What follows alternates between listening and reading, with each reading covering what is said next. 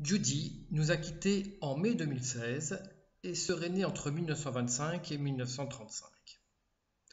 Comme la plupart des Walpiri de cette génération, les Walpiri désignant son groupe linguistique, elle a connu une existence nomade, vivant de la chasse et de la cueillette, avant de se fixer à Yuendumu. Elle a commencé à peindre dans le milieu des années 80.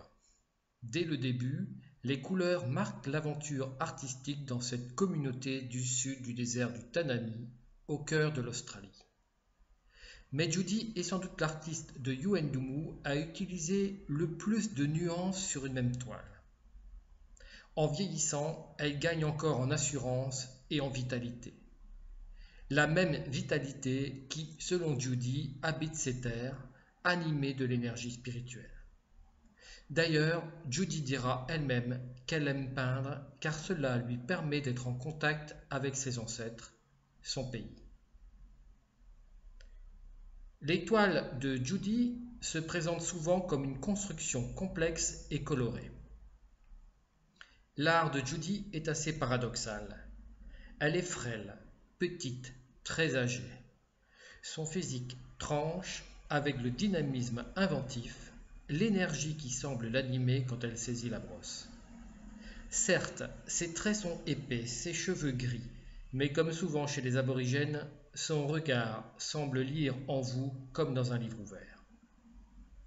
Et ici, plus qu'ailleurs, il faut se méfier des apparences.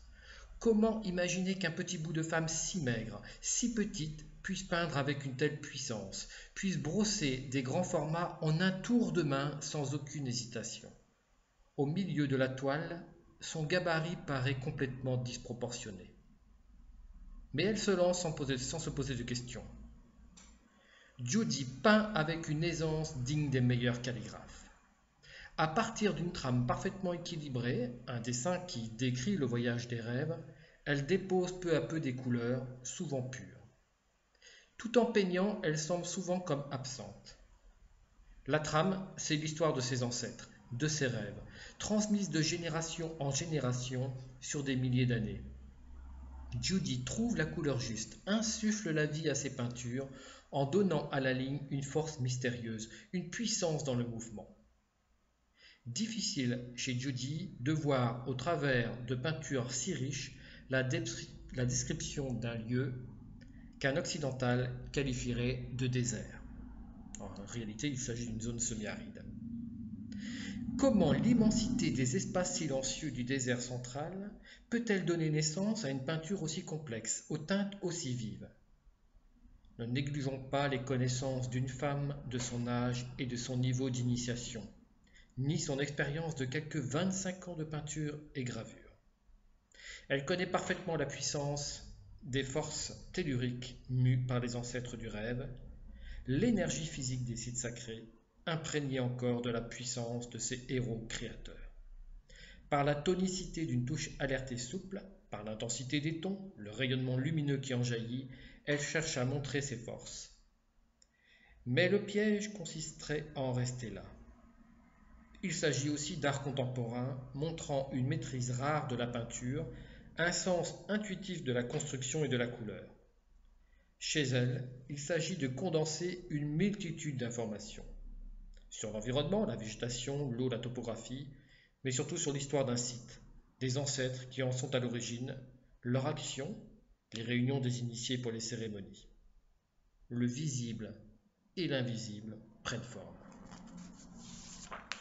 Judy s'inspire essentiellement de deux motifs. L'un raconte les cérémonies appartenant aux femmes sur le site de Minamina, L'autre s'inspire des ceintures de cheveux, fabriquées à partir de cheveux humains et de fibres, symbole des femmes initiées ayant passé le cap de la puberté. Les gardiens de ce territoire, situé à l'ouest de Yuendumu, sont les femmes Napangardi et Napananka et les hommes des sous-sections correspondantes. Au temps du rêve, la genèse selon les aborigènes, un groupe de femmes âgées voyageait vers l'est tout en collectant de la nourriture et des lianes serpents et réalisaient ici et là des cérémonies. Elles entamèrent leur voyage à Minamina, où des bâtons à fouir émergèrent du sol. Les femmes s'en saisirent pour leur voyage. Ces bâtons vont devenir à la fois un outil de survie, puisqu'il sert à la fois à se défendre, à déterrer les tubercules ou les racines, tuer les animaux, et un symbole des femmes. Les femmes confectionnèrent des ceintures destinées au rituel. Elles chargèrent leur corps d'ocre fixé avec de la graisse pour montrer leur puissance et se mirent à danser, parfois en file indienne. À chaque fois qu'elles célébrèrent des rites, elles créèrent des sites sacrés.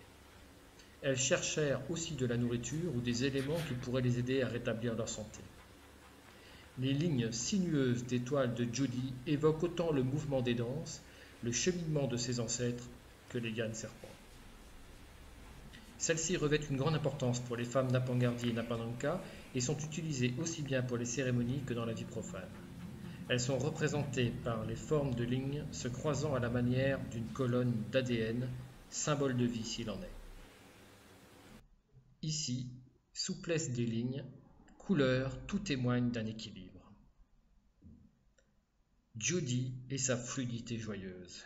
Étrange perception qui contraste avec son personnage, souvent nettement intériorisé, silencieux comme sa vieillesse qui détonne avec son incroyable audace artistique et le sentiment de vitalité de ses toiles.